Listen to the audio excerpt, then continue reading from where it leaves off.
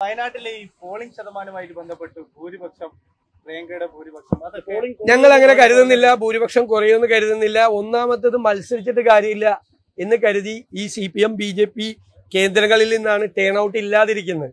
പിന്നെ അവർ വന്നു കഴിഞ്ഞാൽ അവർ പ്രിയങ്ക ഗാന്ധിക്ക് വോട്ട് ചെയ്യും. എന്നാ പിന്നെ ആ പാർട്ടി പോണ്ട എന്ന് പാർട്ടിയും പറയണമെന്നാണ് എനിക്ക് തോന്നുന്നത്. വന്നു കഴിഞ്ഞാൽ വന്നു പ്രിയങ്ക ഗാന്ധി. ഞങ്ങളുടെ വോട്ടർമാർ എല്ലാവരും വന്ന് ചെയ്തിട്ടുണ്ട്. ഞങ്ങളത് പരിശോധിക്കും. ഞങ്ങളത് പരിശോധിക്കും. എന്തെങ്കിലും ഒരു കുറവുണ്ടോന്ന് പരിശോധിക്കും. ഇതുവരെ ഞങ്ങൾക്ക് കിട്ടി ചേലക്കര നിങ്ങളൊരു കാര്യം മനസ്സിലാക്കേണ്ടത് കഴിഞ്ഞ പാർലമെന്റ് ഇലക്ഷന് ചെയ്ത വോട്ടിനേക്കാൾ പന്തീരായിരത്തിലധികം വോട്ട് കൂടുതൽ ഈ അസംബ്ലി ഇലക്ഷൻ ചെയ്യും കൂടുതൽ പോളിംഗ് കൂടുതലായി. നല്ല പോളിംഗ് ആയി. അപ്പൊ ഞങ്ങൾ നേരത്തെ പറഞ്ഞ കണക്ക് കറക്റ്റാ. ഒരു അയ്യായിരം വോട്ടിന് താഴെ.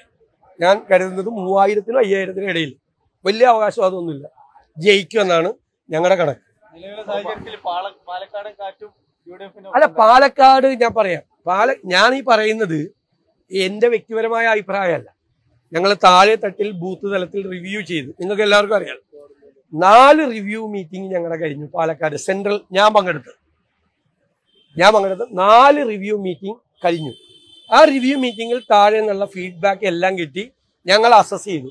അതുകൊണ്ടാണ് അതിന്റെ അടിസ്ഥാനത്തിലാണ് ഞാൻ പറഞ്ഞത് യു ഡി എഫും ബി ജെ പിയും തമ്മിലാണ് മത്സരിക്കുന്നത്. സി പി എം ഒരു രണ്ടാം സ്ഥാനം വരാനുള്ള സാധ്യതകൾ ഉണ്ടായിരുന്നു തുടക്കത്തിൽ. പക്ഷെ ബി ജെ പിയിൽ സീറ്റ് അന്വേഷിച്ചു പോയ ഒരാൾക്ക് സ്ഥാനാർത്ഥിത്വം കൊടുത്ത് സി പി എമ്മിലെ പാർട്ടിക്കാരെ പോലും സി പി എം വെറുപ്പിച്ചു. അങ്ങനെ മൂന്നാം സ്ഥാനത്താണ് സി പി എം. മൂന്നാം സ്ഥാനത്താണെന്ന് മനസ്സിലാക്കിയ C P M U D എഫും ബി ജെ പിയും തമ്മിൽ ഏറ്റുമുട്ടുമ്പോൾ ഇപ്പൊ ചെയ്യുന്ന എല്ലാ പണിയും ബി ജെ പിയെ സഹായിക്കുന്നതിന് വേണ്ടി. അതാണ് ഞങ്ങളുടെ അസസ്മെന്റ് ഞങ്ങളുടെ ഇലക്ഷൻ അസസ്മെന്റ് പതിനായിരത്തിൽ മീതെ വോട്ടിന് രാഹുൽ മാങ്കൂട്ടത്തിൽ ജയിക്കുമെന്നുള്ളതാണ്. ഇപ്പോഴത്തെ പോക്ക് കണ്ടിട്ട് ഈ C P M B J P ഇതൊക്കെ ഓരോ കാര്യങ്ങൾ ചെയ്ത് ചെയ്ത് കൂടുതൽ അനുകൂലമായി ഞങ്ങളിലേക്ക് തിരിഞ്ഞ് അത് പതിനയ്യായിരം വരെ പോയാലും അത്ഭുതപ്പെടാനില്ലാത്ത സ്ഥിതിയാണ് ഇപ്പോൾ ഉള്ളത്. ഇതാണ് ഞങ്ങളുടെ അസസ്മെന്റ് എന്ന് വെച്ചാൽ നമ്മളിപ്പോ ജനങ്ങൾ വോട്ട് ചെയ്യാനിരിക്കുന്ന സ്ഥലത്ത് അങ്ങനെയാണ് ഇങ്ങനെയാണെന്നൊക്കെ നമ്മൾ അവരോട് ധിക്കാരമൊന്നും പറയാൻ പാടില്ല. പക്ഷെ നമ്മൾ വീടുകളിൽ ചെന്നപ്പോഴുള്ള റെസ്പോൺസ് പ്രവർത്തനത്തിന്റെ മികവ്. നിങ്ങൾ നിങ്ങൾ കാണുന്നതല്ലേ? സാധാരണ യു ഡി എഫ് പ്രവർത്തിക്കുന്ന പോലെയാണോ?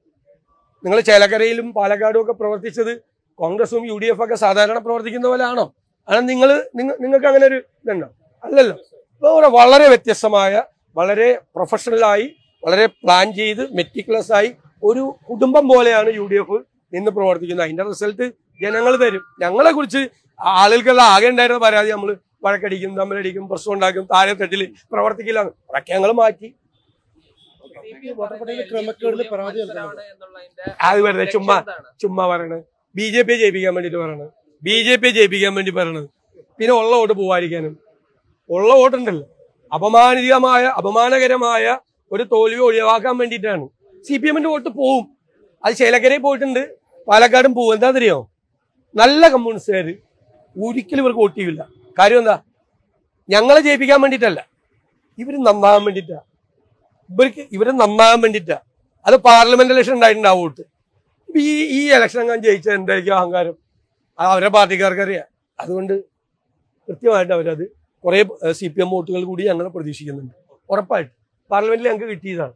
പാലക്കാട് കിട്ടിയതാണ്. അതേപോലെ ഞങ്ങൾ പ്രതീക്ഷിക്കുന്നു അത് ഇലക്ഷൻ കഴിഞ്ഞിട്ടേ ആ പ്രൊസീജിയർ ചെയ്യാൻ പറ്റുള്ളൂ. അപ്പൊ നമുക്ക് ആലോചിക്കാം.